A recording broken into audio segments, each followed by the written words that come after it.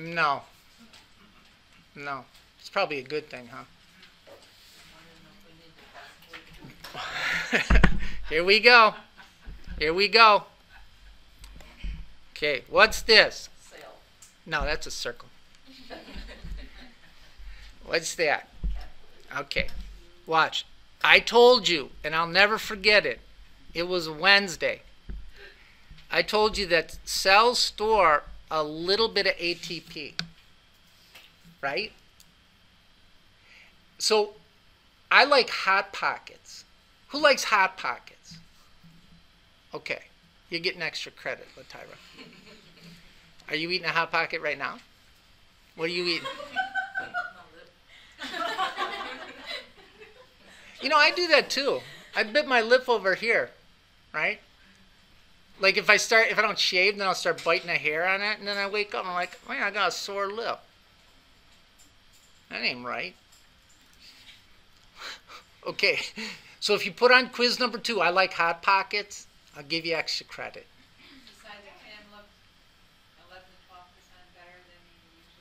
Oh, did I tell you to put that on there too? It's amazing how you remember that stuff. It's absolutely amazing.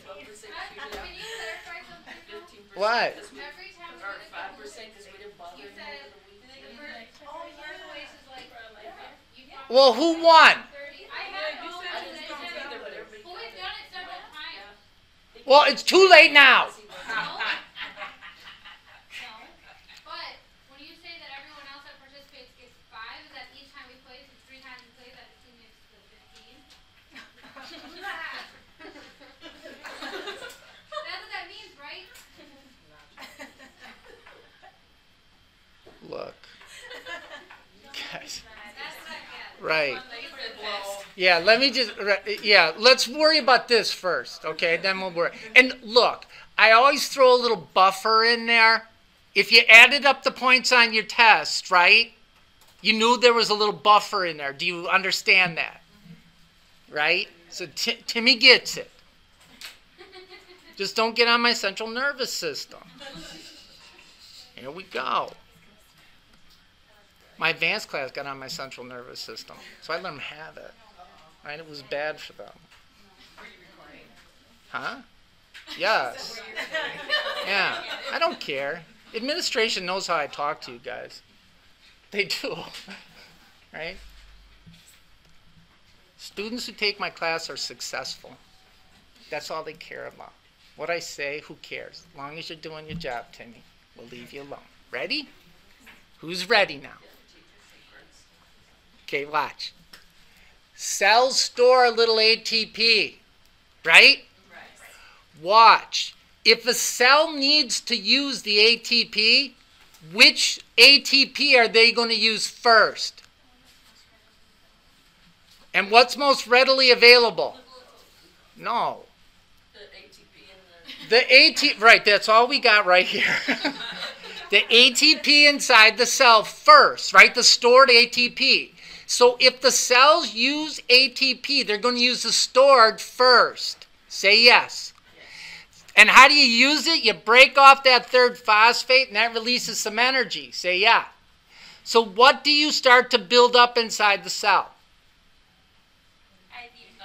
ADP. And what's the most powerful stimulator of the enzymes of metabolism? The buildup of ADP inside a cell, right?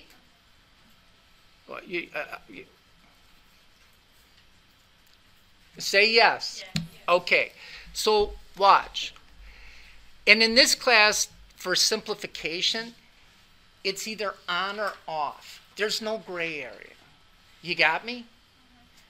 Yes. Could you just repeat that one sentence? It's the biggest trigger of. It's the that- biggest stimulator of the enzymes of metabolism, right? So, how does a cell know that you need to try to uh, pop on that third phosphate to ADP? ADP is building up in the cell because you're using ATP, right? Tell me that makes sense. Right. So, if your whole body is doing nothing, not a thing, right? Are you going to are you using any ATP? No. So if you're not using ATP, what won't you build up inside the cell? So what will happen to metabolism throughout your body? It goes way down. You ain't doing nothing. Say yeah. And I told you that free floating glucose in a cell will what? Kill you. It will kill you. That's bad, right? You want to go to Gateway. Here we go. And if I didn't tell you this, I'm telling you this now. Everything you put into your pie hole that gets digested and absorbed goes where first? It goes to the liver first. So if your blood sugar is high and you are metabolically inactive, that sugar, that high blood sugar, what up, G? Right? With insulin around, who's with me? Yeah? That excess glucose is going to go to the liver. Who's following? And it gets converted to glucose chemically bonded together and stored with water. And what's that called? That's called glycogen. So the stored form of glucose is called glycogen. All right? Who's with me? Can you store glycogen in an unlimited amount?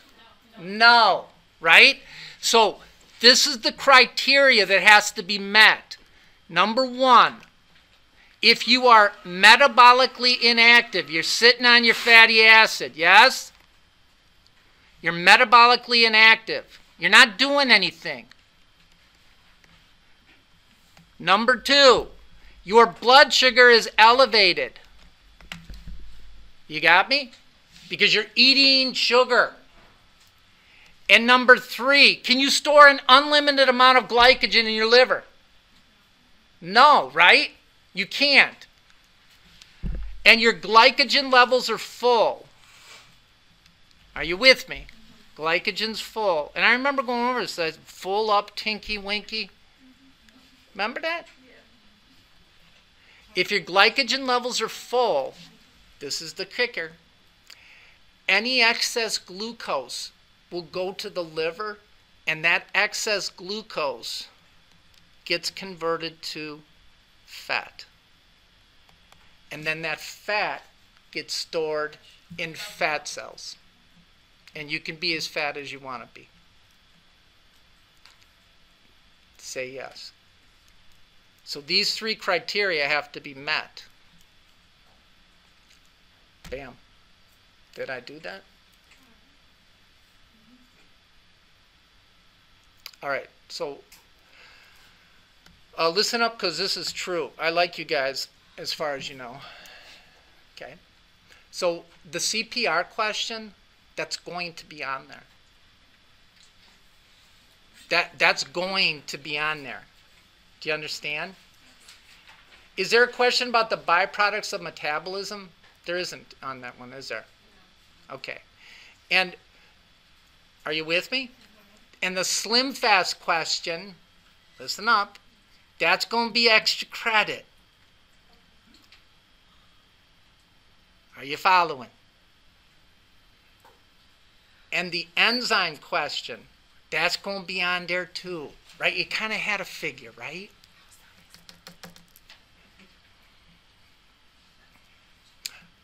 The cell in its parts, you have to know that. Say yes. The functions of insulin and glucagon, you gotta know that. The rest, I haven't decided. Tell me you got that. The metabolic pathway, you need to know that. I mean, cut it out. Am I right? Good. That's all I give you. That's all I give you. That's helpful. Thank you. It is helpful. Anything else I can do for you? Look, it's supposed to snow this weekend, right? If everybody emails me their address, I'll come over and I'll snow blow you. Uh, boom. Okay? Are you following? All right. So we're leaving metabolism alone. We're done with that. Say yeah. Okay. Write this down. Write this down. Never forget it. Ready?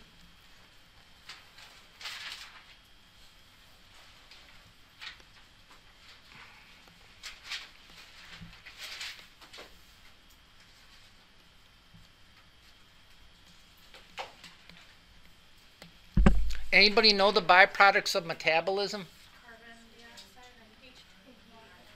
Carbon dioxide, water. What else? Heat. That's very good. Heat. What else? What else?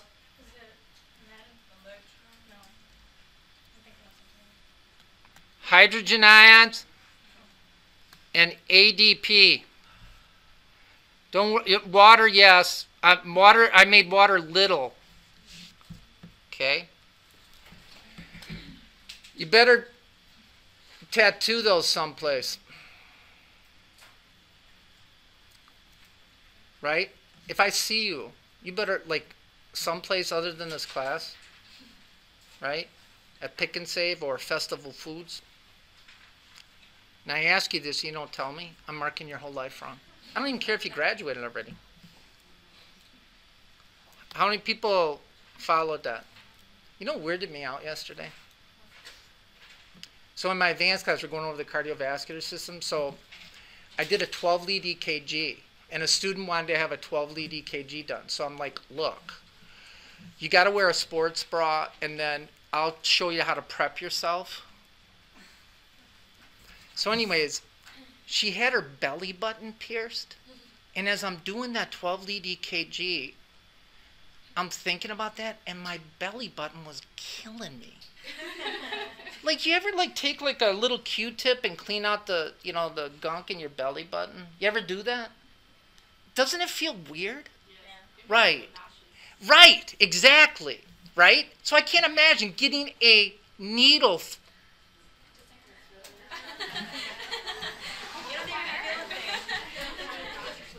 Can I tell you something? Watch and listen up because this is true. Life is painful enough. Why would you needlessly inflict pain on yourself? I do not even understand that. Saw this girl, right? She had like, like I counted them. I couldn't help myself. Twelve rings in her bottom lip.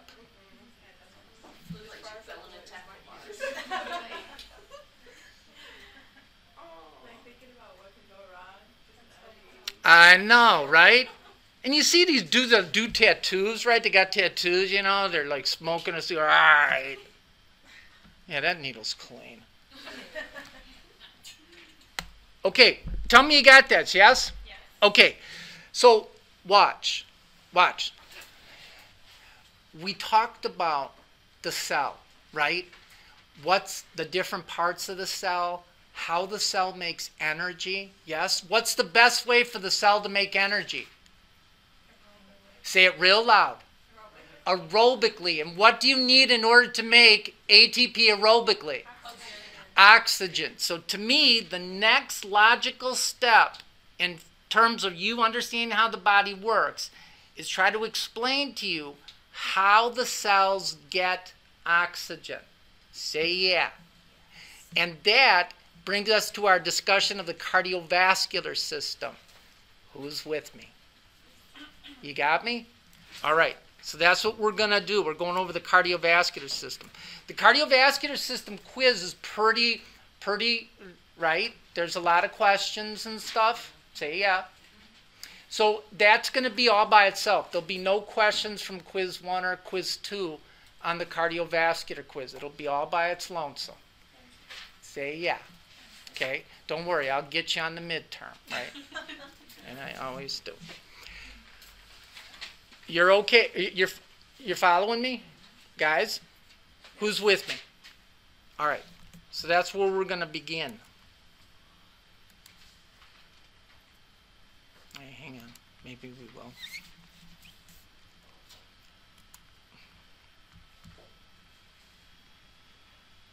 How many people printed off the cardiovascular quiz?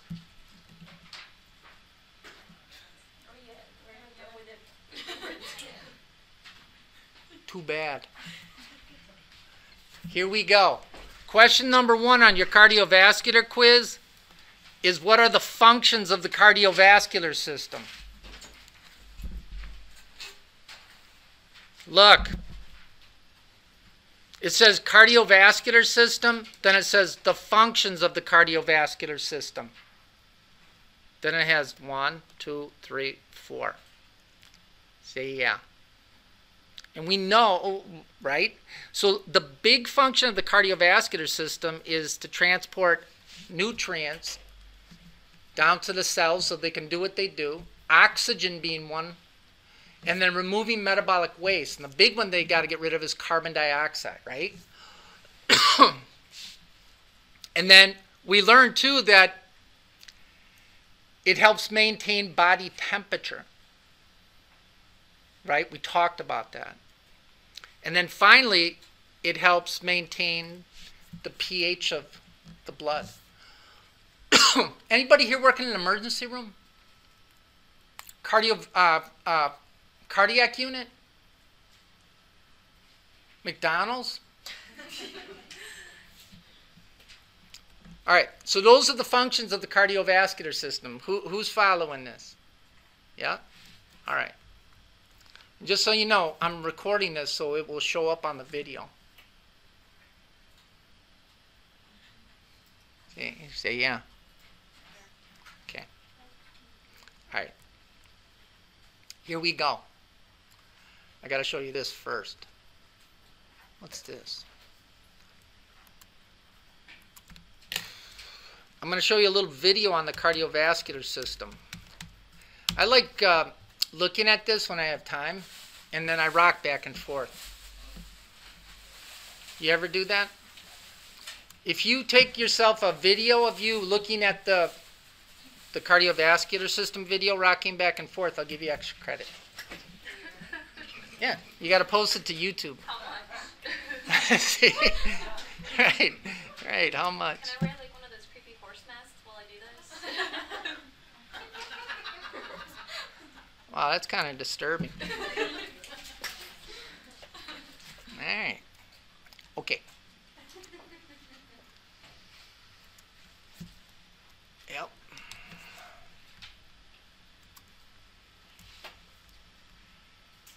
All right, don't you worry. I'm going to find it. Okay, here we go. Reggie? Okay, watch. Oh, it's a pump, all right. Okay, we're close to Valentine's Day, are we not? Aw. Yeah, that's so nice. Okay, so write this down. What does cardi mean? Heart. What does vascular mean? That's very good. So the cardiovascular system consists of the heart, What's the heart made out of? Muscle. What are the two things muscle can do? Contract and relax. What a boring life. You text muscle, what are you doing? Contracting. Right? Then you text a few minutes what are you doing? Relaxing. Chilling out, relaxing, relaxing, playing some b-ball out by the school, with a couple of guys. Here we go. And vascular blood vessels, you better get this. And in the cardiovascular system, you have two types of blood vessels. What are they? That's right. You got arteries.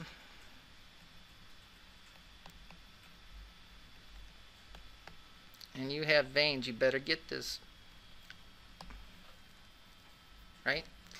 Capillaries are not part of the, the blood vessels. They are. That's where the two, where arteries and veins meet. That's why it's called circulation. It's a circle. Circulation. Here we go. Now watch. In the strictest of sense, by definition, arteries take blood away from the heart.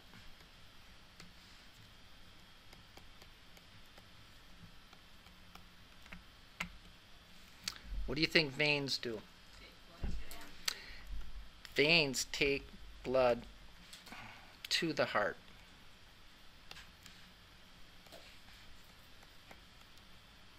Okay, for extra credit, okay, extra credit,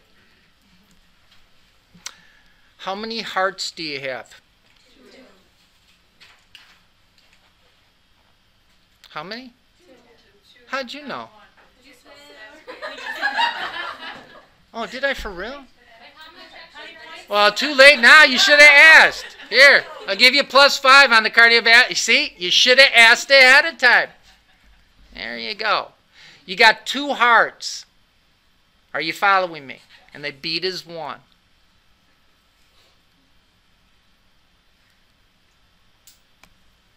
You know what I'm going to get my girlfriend for Valentine's Day? Whatever she tells me to get. See, that way she's not disappointed. That works. Okay, ready? Got two hearts. Watch. Two hearts. You have number one. You have a right heart.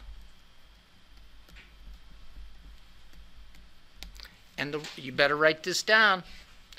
The right heart collects all the venous blood. What's venous blood? Describe it. Describe venous blood. Describe it. I'm waiting. That's right. Venous blood, by definition, is high in carbon dioxide and low in oxygen. And it's less filling. High in oxygen, whoops. High in CO2, low in O2. Where does the right heart pump the blood to? To the heart. It's already in the heart. Yeah, where does the right heart pump all that venous blood to? It pumps it to the lungs. Say yes. Then, in the lungs, right? What do you do in the lungs? You blow off your carbon dioxide and you take on oxygen. Say yes. And all that newly oxygenated blood now comes to the second part of the heart, which would be what? The left heart, because you had a right heart.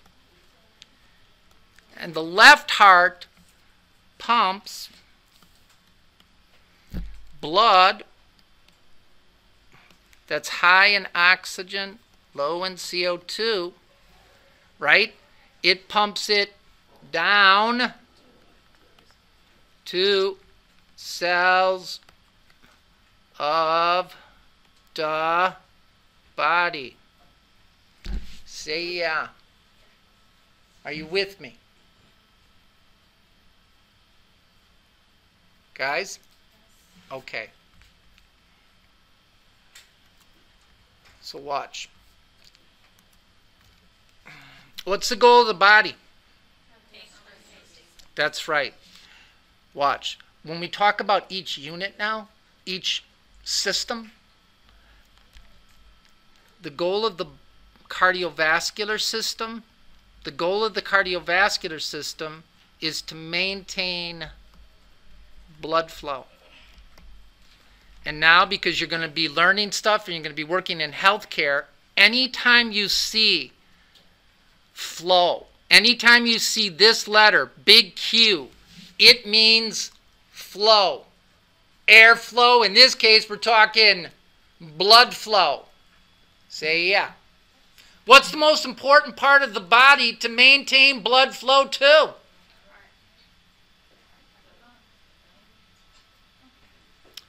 How soon we forget.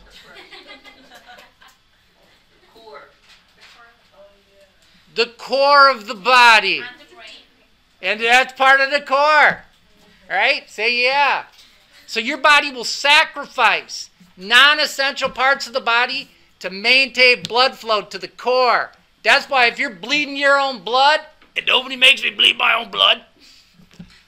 If you're bleeding your own blood really bad, your skin will start to get pale, right? Because you're cutting off blood flow to non essential parts to make sure that blood flow goes to the core. Say yes.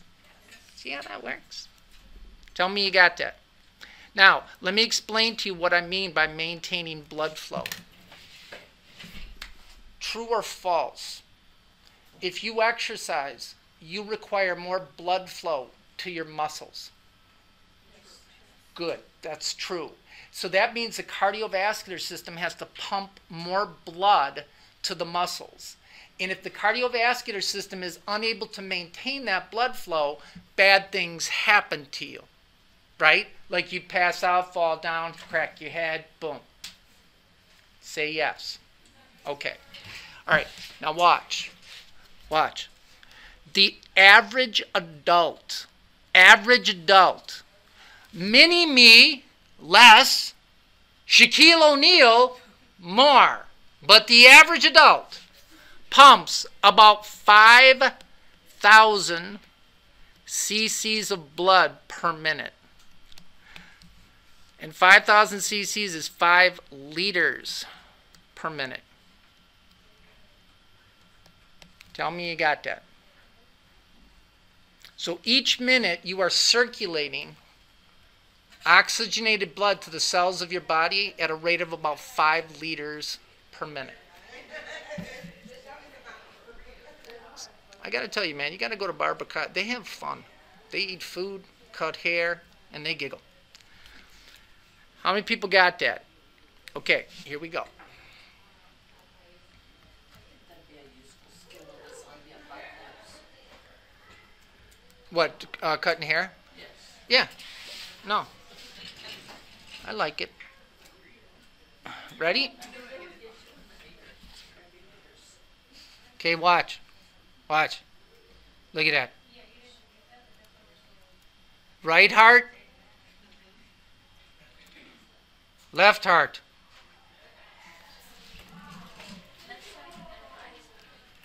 Left side of the heart, right side of the heart. Tell me you got that. Okay, watch. Better get this. Which side of the heart pumps more blood? The right or the left? You said it was the same, but the left side has to pump it further, like throughout the whole body. That's right. Then a student last night got mad at me. Why'd you ask that question then if it's the same? I go, because I want you to think. And that's a four letter word in school thinking. That's four letters too. Watch. Write this down. The right and left, and it's a question on the quiz too. And you didn't print it off. You ought to be ashamed of yourselves. Yeah, you don't care. Everything's a joke. Ready?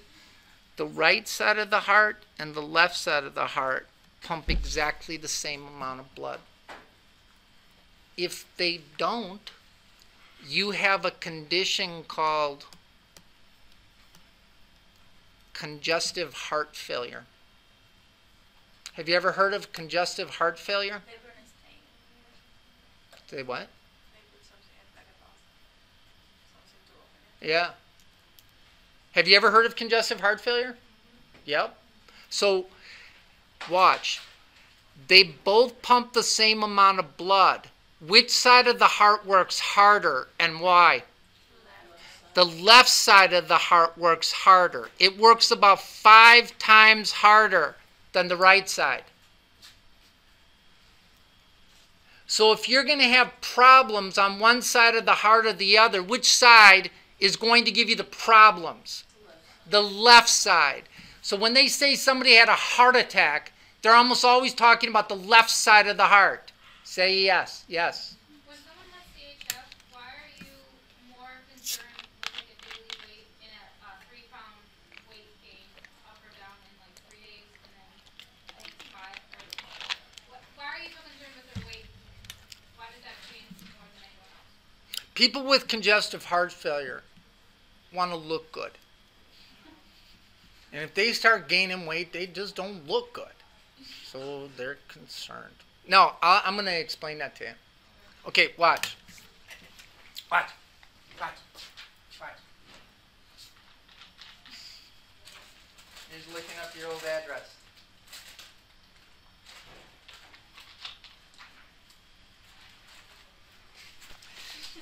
That's all I wanted to show you. Watch. If you drink Diet Mountain Dew, the water that's in the Diet Mountain Dew gets absorbed into my bloodstream. Tell me you got that. I, uh, would you agree with that? And anytime you increase the amount of fluid in your bloodstream, your arteries and veins, that makes your blood pressure go up. And anytime your blood pressure goes up, it makes the kidneys make more urine. That's why with your alkaline water and electrolytes, when you drink that, you have to pee. Tell me you got that. A person with congestive heart failure, their heart is failing, so when they drink fluid, it gets absorbed into the bloodstream, but their heart is too weak to increase the pressure, so they don't make urine. So they retain water. And if you're in an hospital, what happened there? If you're in a hospital, people don't gain weight eating hospital food. So the only way that they could gain weight is by retaining fluid. And the more fluid you retain, the worse your heart failure. That's why they do it.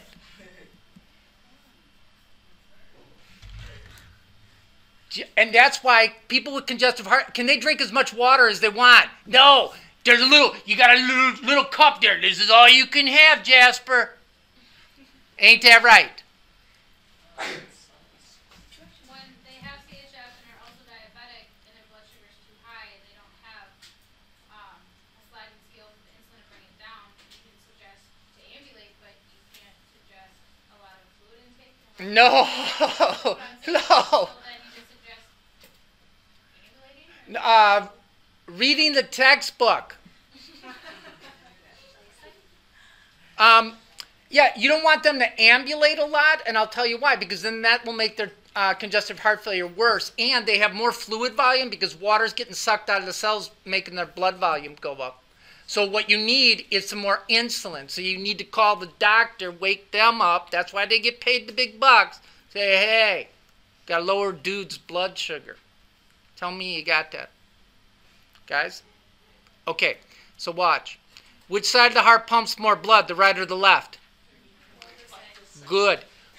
Which side works harder, right or left? Left. Why?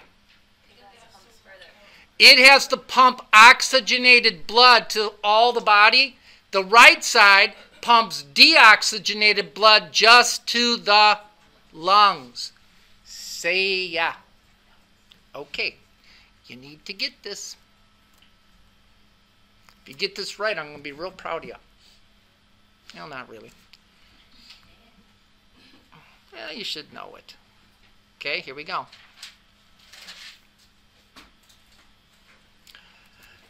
Now get this. Come on, for real. Watch. There's two circulations, two systems of circulation.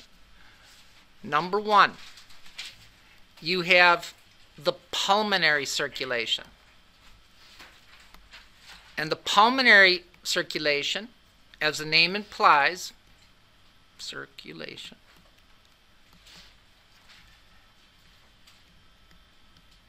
Sends blood that's high in CO2 and low in O2, right? Venous blood. It sends that to the lungs, right? So the pulmonary circulation is in the lungs. And we just, we were just, I just explained it to you. The right side of the heart does that. Okay? Then you got the left side of the heart, right? That's referred to as the systemic circulation.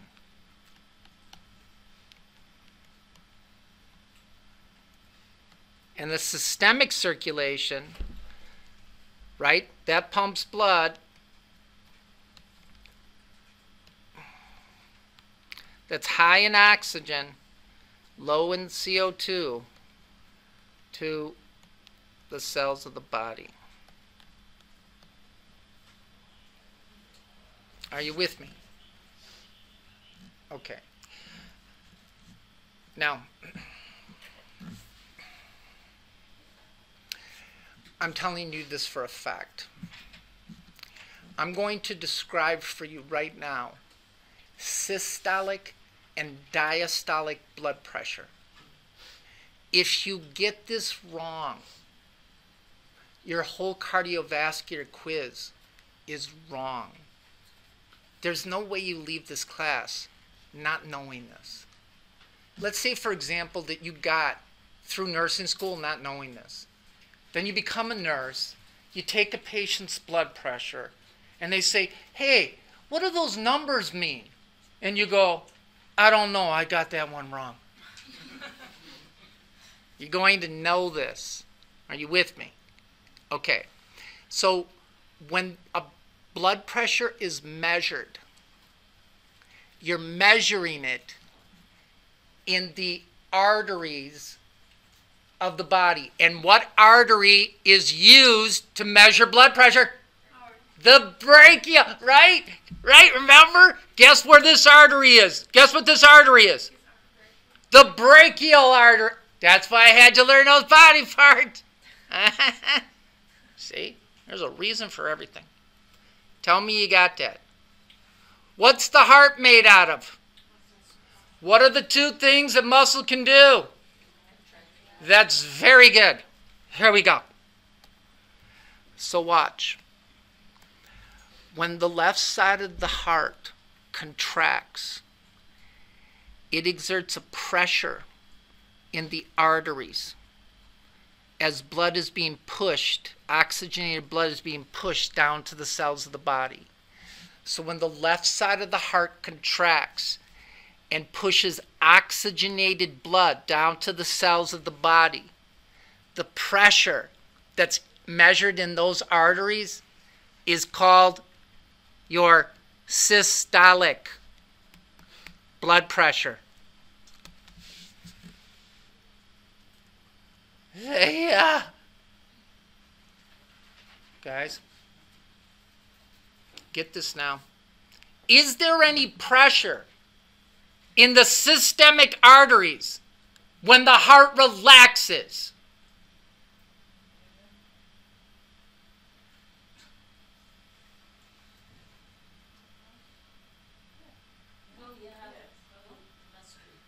I don't know.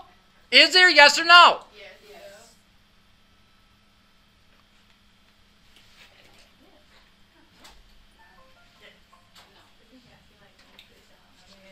Yes or no? Yes or no? Yes.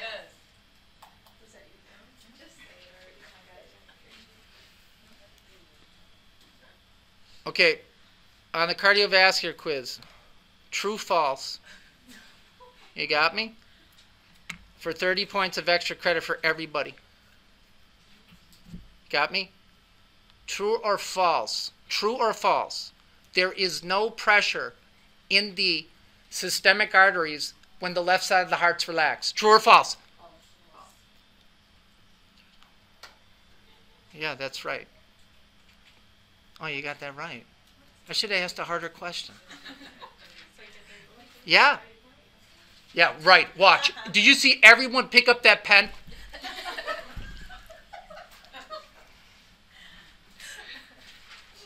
Listen up because this is true. What's the heart made out of? When the heart contracts and pushes blood through the systemic arteries, it's measured with a blood pressure cuff and a stethoscope, and that's called your what? Systolic blood pressure. What's normal systolic blood pressure measured in the left brachial artery? 120 millimeters of mercury. Is there any pressure in the systemic arteries when the left side of the heart relaxes? Yes, there is. And that pressure is called your diastolic pressure. Say yes. What's normal diastolic pressure? 80 millimeters of mercury.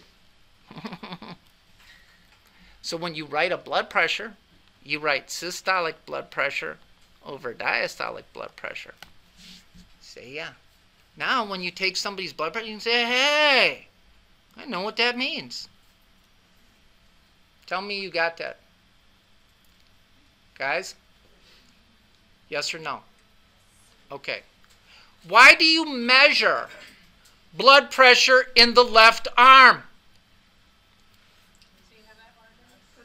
You got a brachial artery in your right arm too. Cut it out. It's closer to the heart. That's why you wear your wedding ring on your left hand. It's closer to the heart. Aww. Did you know that? Yeah. Is that, what, is that why an antebrachial um, reading isn't as accurate as uh, brachial? As a what? Huh? When you take a blood pressure, like if your cuff, if the person's charged with a cuff, you take it in your forearm. Is that why Yes. it's not as accurate? Yes. It's not close. Yes. The, now, that's a good point. It was a nice segue. Ready?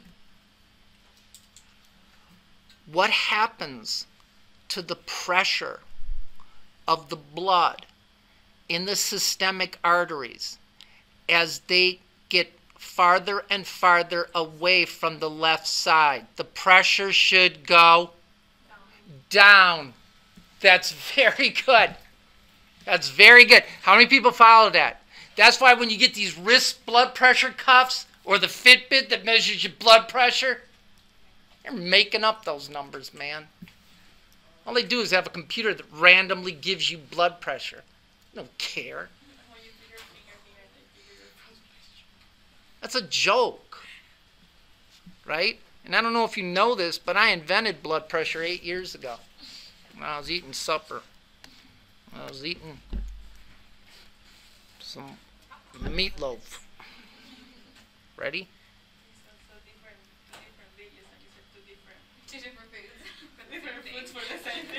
Who cares? Watch.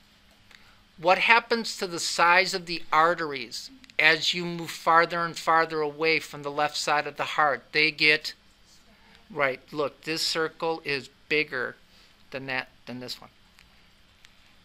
Say yeah. Then what's the smallest blood vessel you have? And how thick is a capillary? How thick is or what kind of blood is carried down to the cells of the body?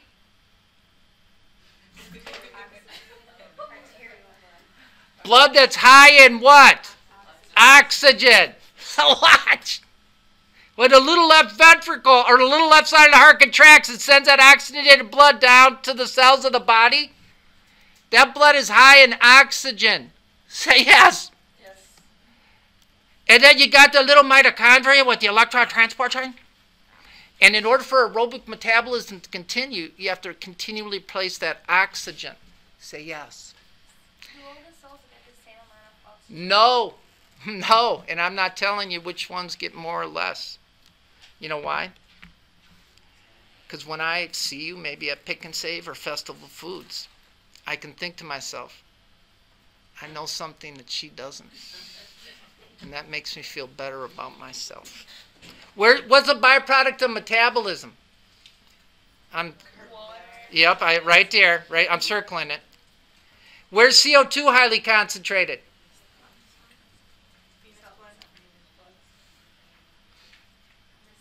Where is it? In the cell. Right. Where does it want to go? So at the watch it at the point that oxygen leaves the capillary and sits at the end of the electron transport chain and CO2 leaves the cell and goes into the blood, arterial blood becomes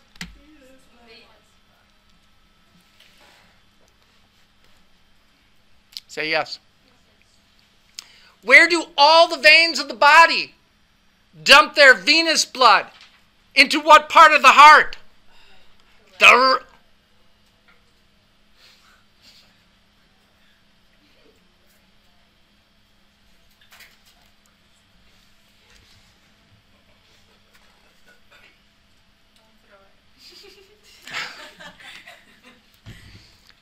guys, where do all the write this down? All the veins of the body dump their venous blood into the right side of the heart. Where do all the veins of the body dump their venous blood? Right side of the heart. Where does the right side of the heart pump the blood? To the lungs. What do you do in the lungs? Okay. Right? You take on oxygen and you blow off carbon dioxide. Say, yeah. Okay, here we go. Watch. Very important. Very important. What happens to the pressure in the systemic arteries? Come on. Why isn't this working? Wait. As it moves farther and farther away from the left side and gets closer and closer to the cell, what happens to that pressure? It goes down. So listen up because this is true. You better write this down. I'm not writing it down. I got degrees. In the arterial end of the capillary, the pressure is about 15 to 20 millimeters of mercury. How thick is a capillary? That's right. So, can a one cell thick membrane handle a lot of pressure? So, watch. If normal systolic blood pressure is 120, and let's say that all of a sudden you got high blood pressure and your blood pressure goes up to 240, what's going to happen to the pressure in the capillaries? It's going to go up. And if you start busting capillaries in your brain, you end up drooling out of the side of your mouth. You end up with a stroke. If you start busting capillaries in your kidneys, you end up on dialysis. That's why high blood pressure be bad for you. How many people got that? Okay. Write this down, never forget it. Tattoo it backwards on your forehead for 150 points of extra credit. It has to be permanent. Ready? Where do all the veins of the body dump their venous blood? The right side of the heart. Write this down. I, I'm not even kidding. I'm writing it down. Let's see. I'm going to write it down in white. Okay.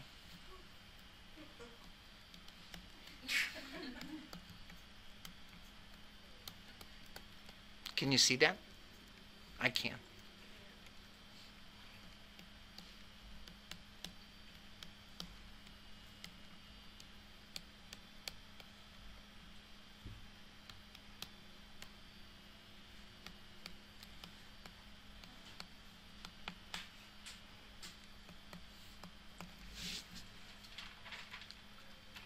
There is no pressure in the systemic veins.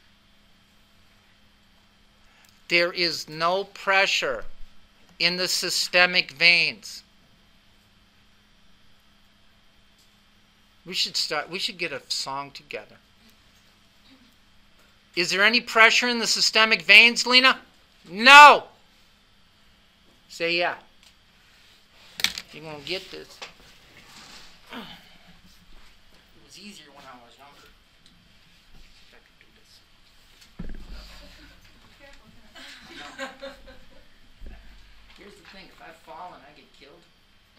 you may get a teacher who's worse, right? Grass ain't always greener, just so you know. what? what did she say?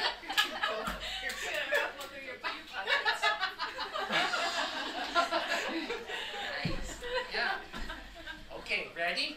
Okay, watch. Is my big toe alive? Yes. How do you know? It could be riding off right now. Guys? Is my big toe alive? Yes. So is oxygenated blood from the left side of my heart going down there to feed my toe? Yes. That's very good. So after gases are exchanged at the level of the capillary, who's following this? It becomes venous blood. Is there any pressure in the veins? Yes. Yes. I just wrote that right here. Look. No. No pressure. No. So how does that venous blood get back to the right side of the heart?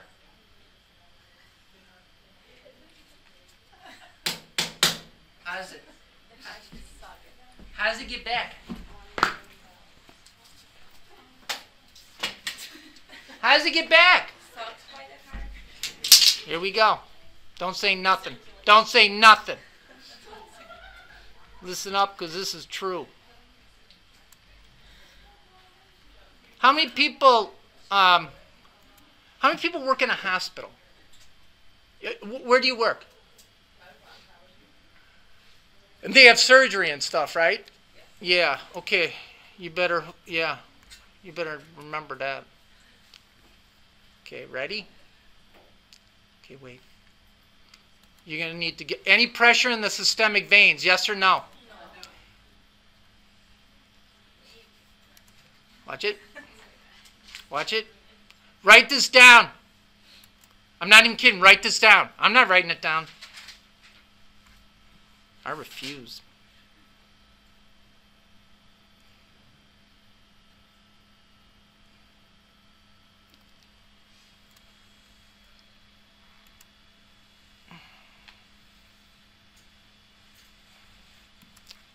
Watch.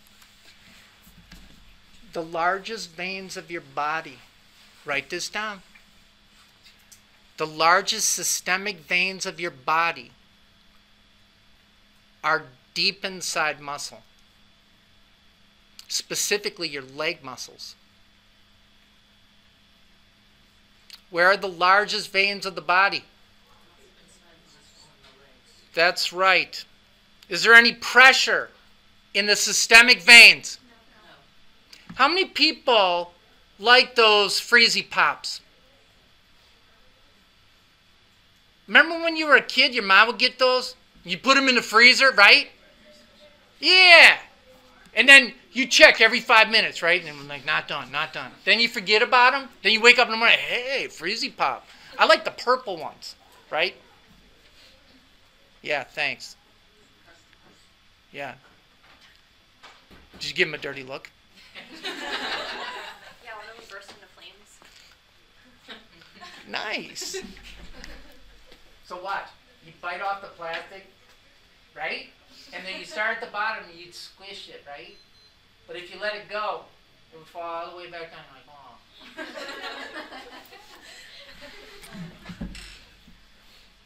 Your veins work like that. Watch. In the systemic veins, in the systemic veins, you have veins have one-way valves. And those one-way valves only open up towards the heart.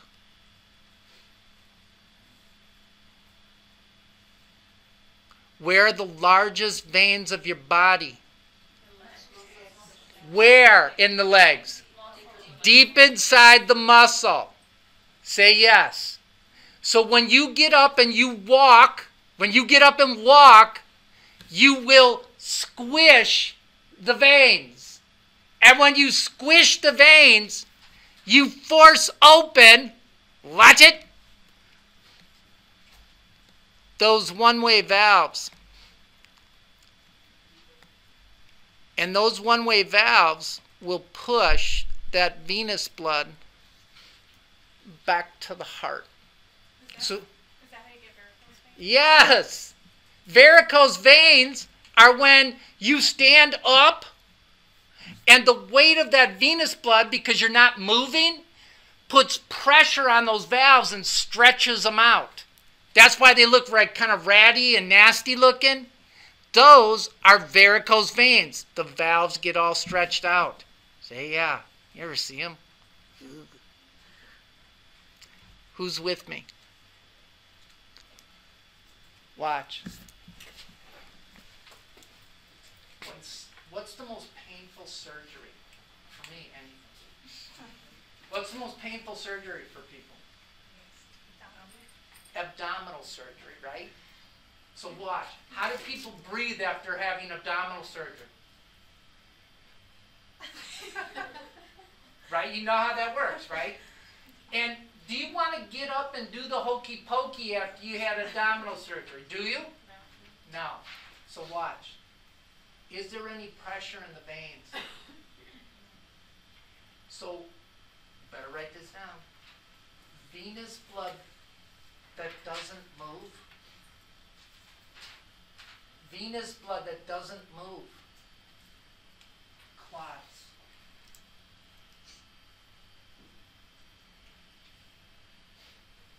That's why after you have surgery, they stick this needle in your belly called Lovenox.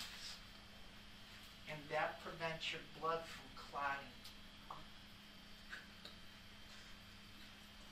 Tell me you got that.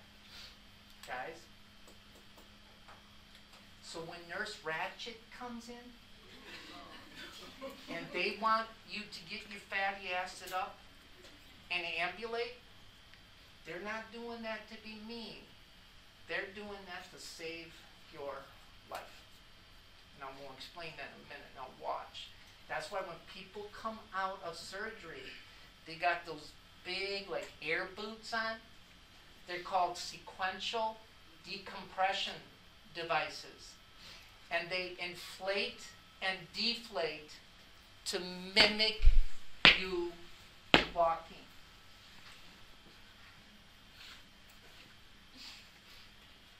Say yes. Watch.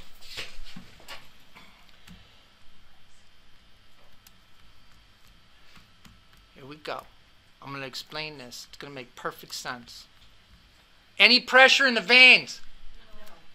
What do veins have that systemic arteries don't? Systemic veins have them, but systemic arteries don't. One way valves. And those one way valves only open up towards the heart. Where are the largest veins of your body that store a lot of extra blood? Deep in the muscle of your legs. Say yeah. Okay, here we go. How come this ain't working? What the? Okay, here we go.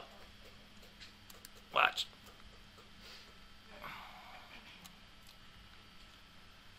So dude's ambulating, right? He's ambulating, and he's contracting and relaxing his muscle, and those little red blood cells start moving up towards the heart. Who's following this? Now watch. Watch. If you don't move and you ain't taking Lovenox, if you sit on your fatty acid long enough, that venous blood, because you're not contracting your legs, stays in your legs. And venous blood that don't move has a tendency to what? Clot. Say yeah. So watch. In this video, the clot appears to be a marsh marshmallow treat with certs in it. Got Redson. That's a thrombosis, a blood clot. If a blood clot breaks free, it becomes an embolus. Say yes. Okay, now watch. Watch. Before you answer it, think. What happens to the diameter of the veins as they get closer and closer to the heart? They get bigger. Tell me you got that. Where does the right side of the heart pump the blood to? The lungs. Watch it. So here's dude, and he got this. This is no joke from not reading the textbook. Why is this doing this? Why is this doing this? But the, the clot's forming on the hard side of the It can form anywhere in that vein. But if it's, if it went through the valve, that, doesn't that mean he's moving? No. Because it's closed and. There's other reasons those valves move. You got me? Watch. And as you get closer and closer to the heart, there's less and less valves. So when that clot breaks loose, the veins get bigger. So that clot is not going to break uh, uh, block any of the veins on the way to the right side of the heart. Do you follow that? How many people are following this? Where does the right side of the heart pump its blood to? I'm going to ask it again. Where does the right side of the heart pump that venous blood to? The lungs. So watch. You got a clot here. When it breaks loose, it's going to not block any of the veins on the way back to the right side of the heart because the veins get bigger. But when that clot gets into the right side of the heart and it gets pumped to the lungs, what happens to the size of the vessels in the lungs? They get smaller. That's why a deep vein thrombosis causes a pulmonary embolus. How many people followed this? You didn't follow that? I mean, I see how it happens, but why does that give you, a? I mean, why does that? Is a pulmonary em- embolism, that's, that's a blood clot in the lung. in the in the circulation of the lungs. And because look, look at the size of the blood vessels in the lungs. As you get deeper and deeper into the lungs, the blood vessels get smaller. So that blood clot is going to block vessels in the lungs. You need to understand this. Then what happens? Uh, if it's big enough, you die. Wait, so what do they have to do once you get that? What do they they give you anticoagulants and drugs try and try to um, break that clot up. If it's big enough, they will actually go in and try to remove the clot itself. Tell me you followed this. Yes or no? There you go. There you go. That's why, if you ever watch uh, Cheaters or Maury, they'll say, we're the law offices of Dewey, Cheatham, and Howe, right? And if you had a inferior vena cava umbrella and you suffer death, well, don't call us, you're dead. So people who develop deep vein thrombosis, the worst outcome from that is a pulmonary embolus. So they will actually put a little clot catcher in the inferior vena cava. So when the clot starts moving up, it will be caught by that. And that little umbrella will actually have anticoagulant on it and it will dissolve that clot. Why don't they put one in the upper part of the heart?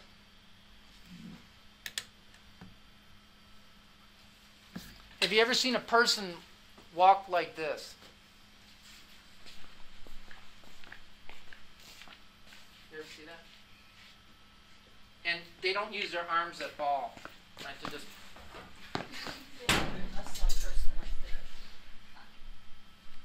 just so you do. Okay. Okay, good. So because we use our arms all the time, the venous blood that's in our arms is constantly moving. But we're not always moving our legs, especially after surgery. That's why deep vein thrombosis occur in the lower extremities. Tell me you got that. That's why these are done. How many people followed this? Yes or no? You need to know the circulation of blood and the fact that there's no pressure in the veins. Tell me you got that. And that veins have one way valves. Say yes. I'm going to ask it one more time. Is there any pressure in the veins? No. no. Okay? Here we go. Here we go. Which side of the heart pumps more blood? The right or the left? They pump the same amount. Okay, here we go. Here we go. This is, I'm not even kidding. This is important. Watch. Watch. What determines the amount of blood pumped by the right side of the heart?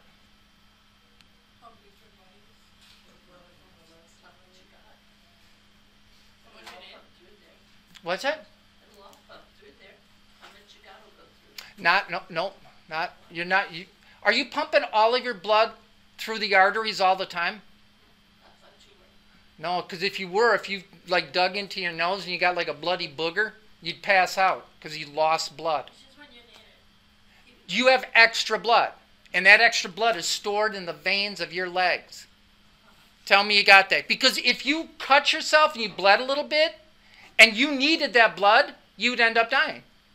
So you can bleed a lot and still not die. Let's try it. Who wants to get cut really bad? Let's see if it's true. Yeah. See how long it takes you to bleed to death. Guys, how many people followed this?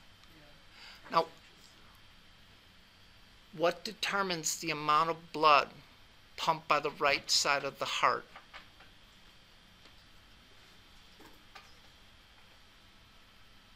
The AV, ADP buildup in the cells.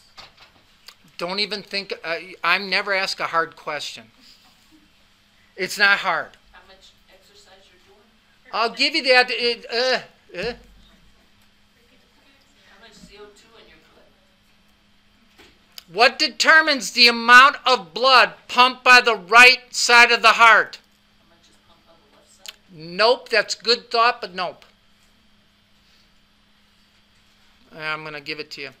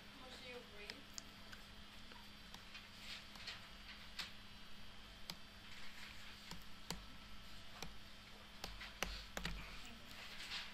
The left side pump the O two, that, all that blood goes to all the parts of the body. Right?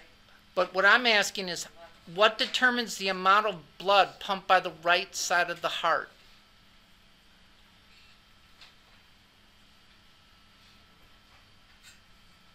I'm not telling you. Ever. Come on. Come on. You can get this. I know you can. Extra credit. Yeah, you should see now. Yeah. Ooh, give me that smartphone. I'm gonna look that up. Yeah, I'll go to the library right now. Come on. God, I'm I'm giving it to you. Right here. Right here. Right here. I'm telling you. Oh, is it how fast your heart is pumping? No. What was the question? Okay, where you breathe?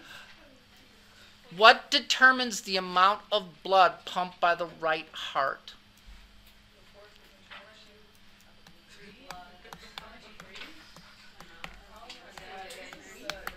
What'd you say? The amount of venous blood returned to the right heart.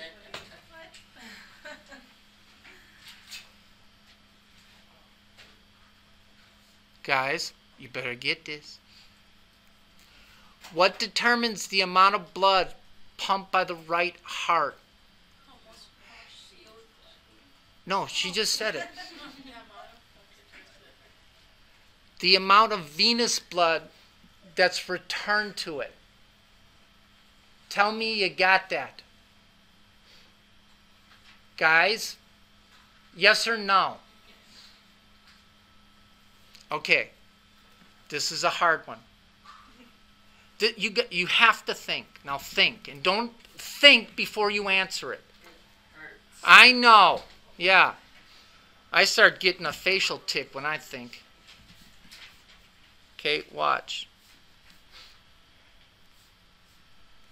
The amount of venous blood returned to the right heart determines how much blood is pumped by the right heart. what determines the amount of blood pumped by the left heart?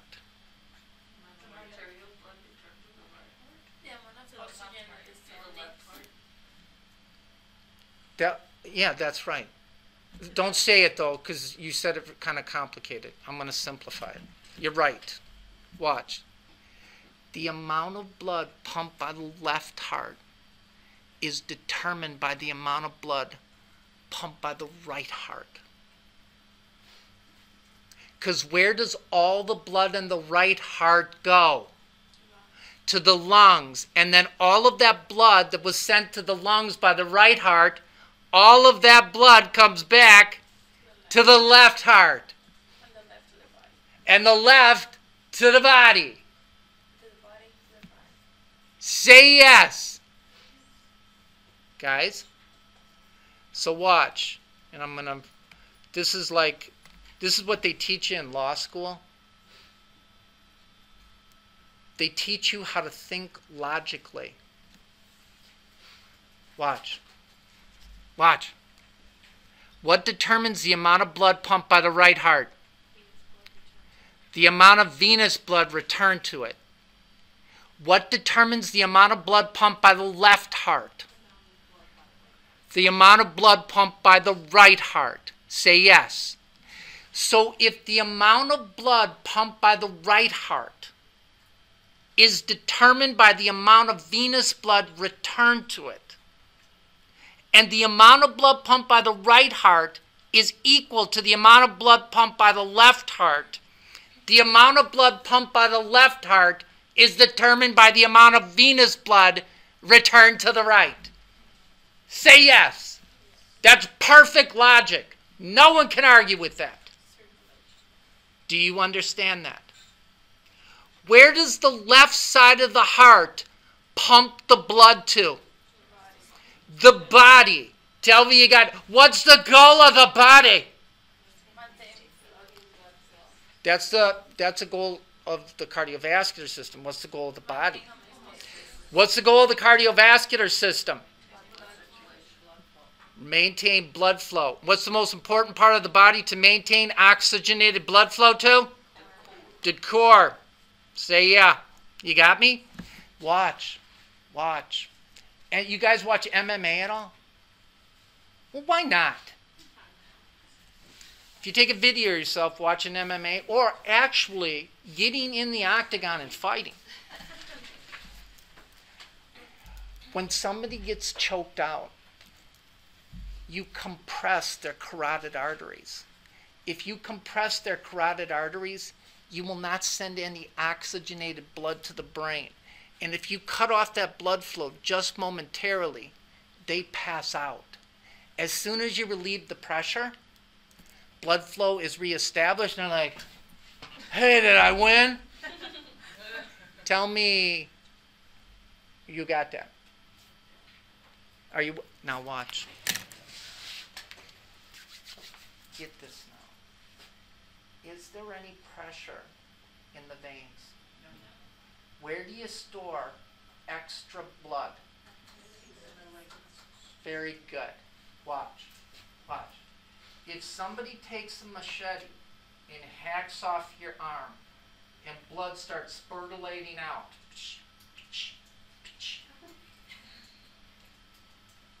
tell me you got that. What's going to happen to the amount of blood in your cardiovascular system? So, what's going to happen to the amount of blood coming back to the right side of the heart? There'll be less. So, what does that mean in terms of the amount of blood going to the lungs? Less. So, if there's less blood going to the lungs, there's going to be less oxygenated blood in the left heart. So, what does that mean in terms of the amount of oxygenated blood going to the body? It's going to be less. Say yes. But where do you store extravenous blood? Your legs. Watch. This is Timmy, looking a little anorexic. Okay? If you stand up during the day, and most people are upright during the day, depending on their profession.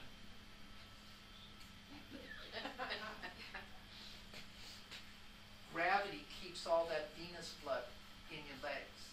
Where do you store extra venous blood?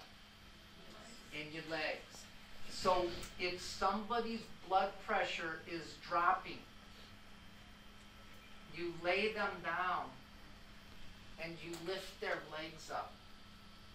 Because the extra blood that's stored in the veins will sit there unless you get gravity and assist. So that extra venous blood will now come back to the right side of the heart. Say yes. And now you got more blood in the right side, more blood in the lungs, more blood to the left side, and more blood to your brain and vital organs. Do you follow that? That's why in a hospital, that's Spanish for hospital, when somebody's blood pressure drops, there's a little button at the bottom of the bed that puts them on their head. That's why you do that. You know who will explain that to you? Nobody. How many people got that? And the only way you can understand that is if you realize there is no pressure in the veins. Yes or no? Rock on with thy bad self. Okay, go ahead. Take a break. I earned it.